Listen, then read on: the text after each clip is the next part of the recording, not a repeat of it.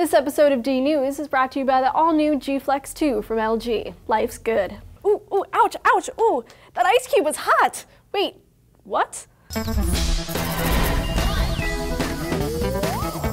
Hey guys, Julia here for D News. Temperature is a measure of energy, how fast the molecules in something like an ice cube are moving. But how does the brain read that information? For scientists, it's been a little bit of a mystery, but new research published in the journal Nature sheds a little light. The research looked at fruit fly brains to see how it responded to temperature. They identified three types of neurons that reacted. Two sets were what the researchers called narrowly tuned. They could detect either hot or cold. One set of neurons let us know very quickly whether something was becoming hot or cold.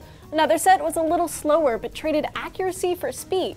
These neurons could report temperature better. But in a surprise to the researchers, there was a third set of neurons that was fast and broadly tuned. It responded quickly and could sense both hot and cold. Possibly it's a mayday kind of signal. So that's an idea of what might be going on in the brain, but how does the feeling get there? Well, in humans, we take in a lot of information through our somatosensory system. This is made up of things like nerve endings, touch receptors, and receptors for temperature called thermoreceptors, which lie just under our skin. It's thought that the mammalian nervous system has separate thermoreceptors in our skin for either warmth or cold cold. There are far more cold receptors beneath the skin than warm ones, and are more concentrated in areas like the nose and ears. And the signals from cold receptors actually travel up to the brain 10 times faster than signals from warm receptors, which is why those spots get so chilly so quickly. But some cold receptors respond when we touch something really hot, like over 113 degrees, which is why sometimes the hot water in your shower feels icy cold. This phenomenon is called paradoxical cold, and scientists aren't sure why exactly.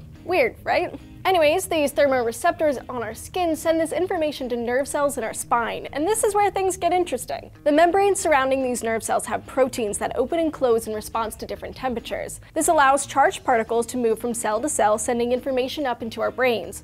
Our body has dozens of these proteins, called ion channels, allowing us to experience a wide range of temperatures. These channels can sometimes respond to things other than temperature, like food, pain, or acidity. One of these channels, called TRPV1, reacts to hot temperatures about 100 degrees Fahrenheit. But it also responds to capsaicin, the thing that makes chili peppers so spicy, which is why our body tastes chili but senses heat. Another of these channels, TRPM8, is sensitive to cold.